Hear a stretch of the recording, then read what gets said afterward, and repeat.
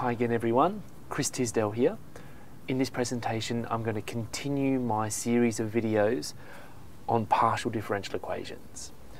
And in particular we're going to look at second order linear problems with constant coefficients that feature purely second order derivatives. Now in previous videos we looked at the wave equation and we used a, a technique to solve the wave equation uh, known as the method of factoring.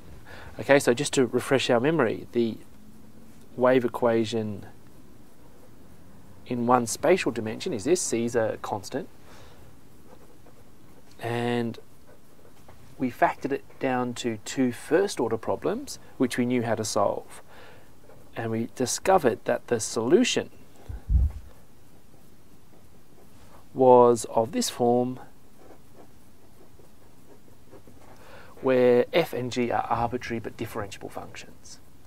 And you can see in the argument here we've got linear type expressions. Remember c is just a constant. So in this video we're going to tackle the slightly more general problem, 6, and we're going to assume that a solution to 6 is also uh, a function of this type, this you know, similar linear form where m is a constant here, okay, to be determined. Okay, so this form is motivated by our work on the wave equation. If we take this form, compute the derivatives in 6, then and set it equal to 0, you'll get this expression here, okay, just by using the chain rule. Now, you can take out a common, a common factor of f double prime here, and you're left with the following. Okay, just a quadratic equation. Okay, so this, this equation here is sometimes called a characteristic equation. Now you might think, what, what happens to the f double prime? If, if f double prime equals zero, then you can integrate it twice and there'll be a special form of this already assumed form. So we don't need to worry about it. Okay, now we can solve this by you know, a number of ways. We can complete the square or we can use the quadratic formula or we can factor it. Okay, so m will be the following. And you know, depending on what this discriminant is, you'll either have two real and unequal roots, two real and equal roots, or two complex roots. Okay? Now, if the discriminant is positive, then we obtain two real and unequal roots. And the form of our solution, the general solution, is this. Now, because there's two roots, this will be a solution, and this will be a solution for arbitrary but differentiable functions f and g. And the linearity of the PDE6 means that any the sum of any two solutions is also a solution. So this is why we have two functions here. Now, in this case, where the discriminant is positive, we're going to refer to the PDE6 as hyperbolic.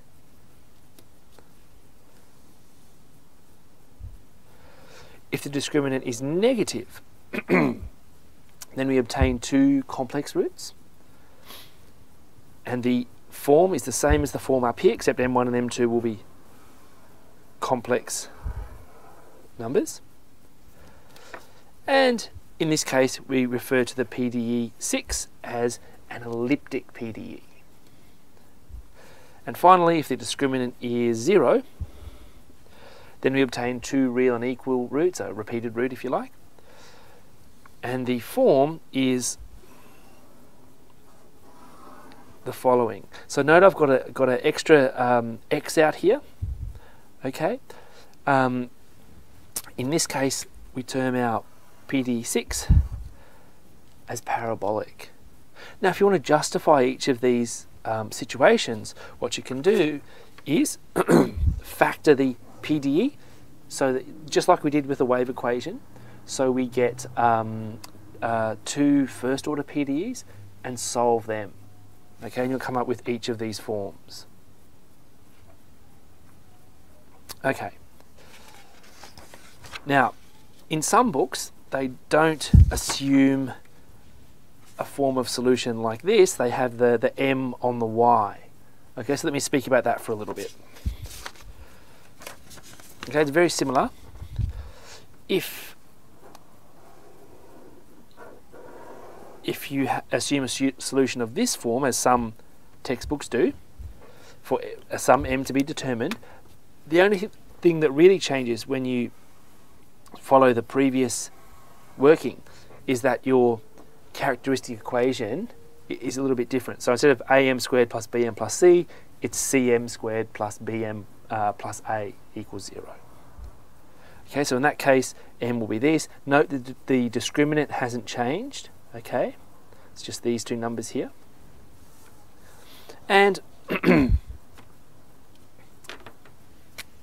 similarly to the previous case where we looked at f of mx plus y, if the discriminant is positive, then we obtain two real and equal roots. We term the PDE as hyperbolic, but the form of our solution based on this form is the following. So the, the, the roots then are coefficients of the y's. Okay? If the discriminant is negative, then we obtain two complex roots. And this is our form. And again, our PDE is known as an elliptic PDE. And finally, if the discriminant is zero, then we obtain two real and equal roots, and our PDE is termed parabolic. And just notice that the subtle change here. We've got the coefficients on the m, or on the y, sorry, and there's a y out here now. Okay, so when it was mx plus y in here, the x was out the front, now it's y out the front, and the m's the coefficient of y here.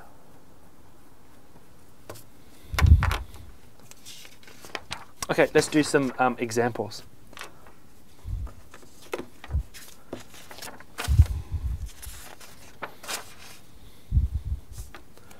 All right, classify and solve the following uh, PDE with purely second order derivatives and constant coefficients. Okay, so here uh, A is 1, B would be positive 1, and C would be negative 2. So let's classify it first. So for this we want to look at the, the discriminant, b squared minus 4ac. Okay, so it's going to be 1 minus 4 times negative 2. Okay, so that's going to be um, 9, and that's positive. Okay, so it's the first case. Our PDE, let's call it star, is going to be hyperbolic.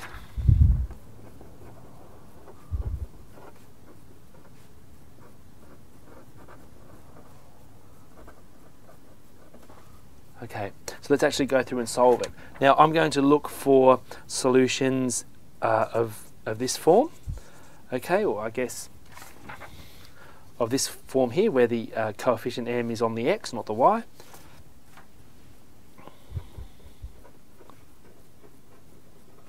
For solutions of the form um, u equals f mx plus y the corresponding characteristic equation, so the characteristic equation is am squared plus bm plus c equals 0 and that will just be m squared plus m minus 2 equals 0 okay?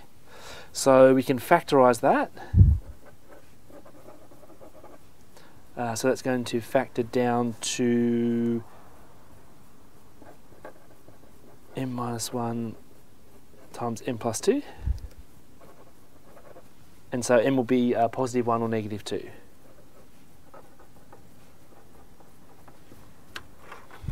Okay. So our roots are real and unequal. Therefore, our solution will be of this form as you would expect.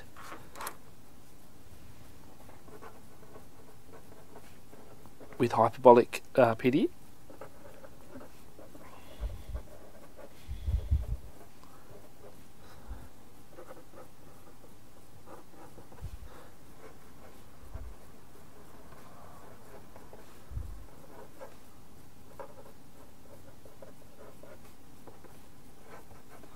Okay, so it doesn't matter where you put the M1 and the M2.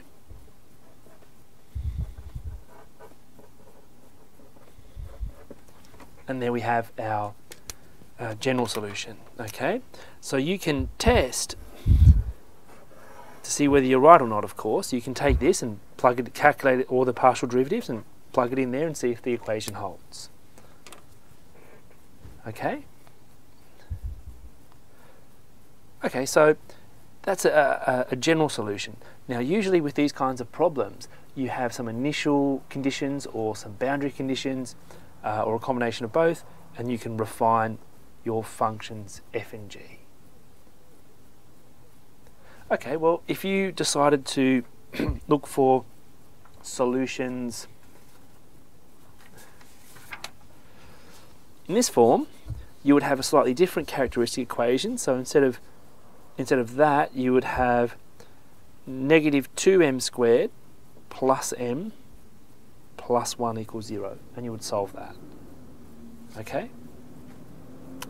Now, you also can break this down to uh, two first order problems if you really want to be um, uh, quite precise and, and do it you know uh, from a um, very um, well founded and um, uh, analytic point of view.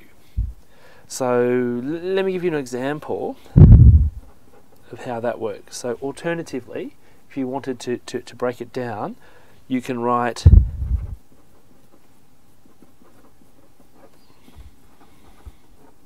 the following as this. So you can break up this into 1 times that minus, uh, sorry, negative 1 times that plus 2 times that. Okay? So,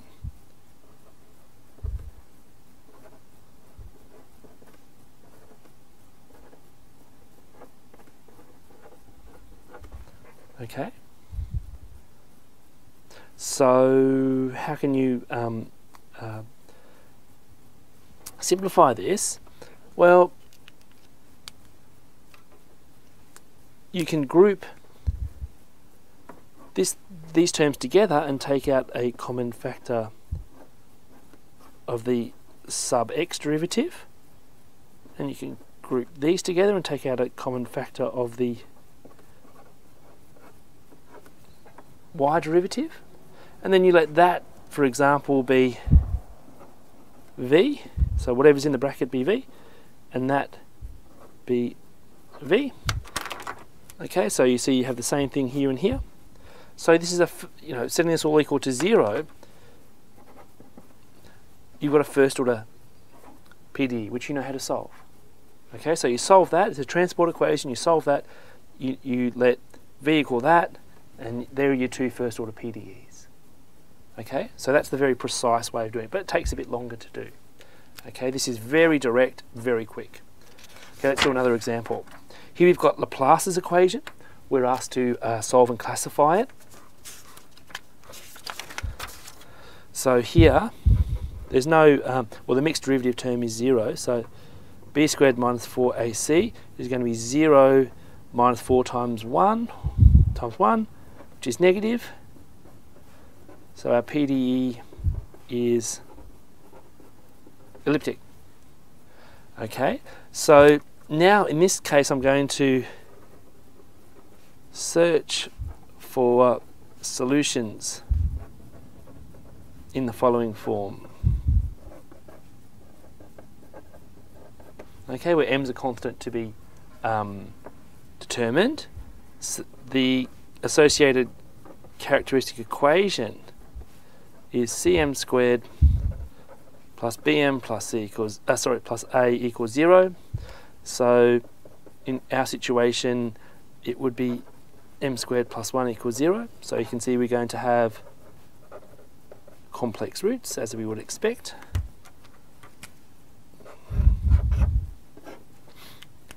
So in this situation, this will be the form of our solution.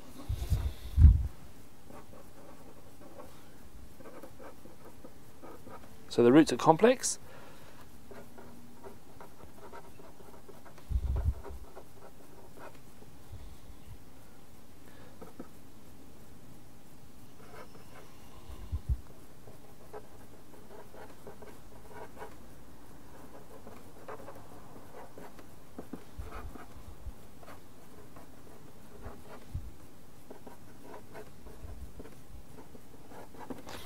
Have the general solution to Laplace's equation.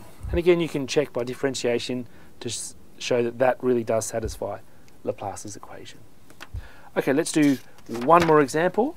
Here we've got the following second order uh, partial differential equation. Let's classify it first. Okay, b squared is 16, 4ac is 4 times 1 times 4. So it's 0. So our PD is parabolic.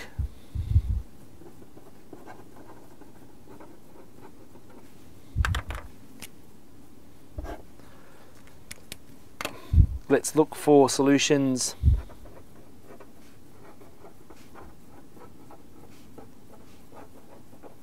in the form, say, u equals f of mx plus y. The characteristic equation is going to be m squared plus bm plus c equals 0, which is just m squared minus 4m plus 4 equals 0. So that's a perfect square.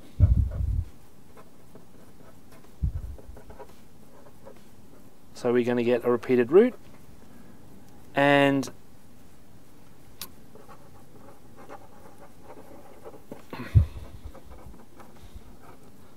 they give the following uh, form of solution.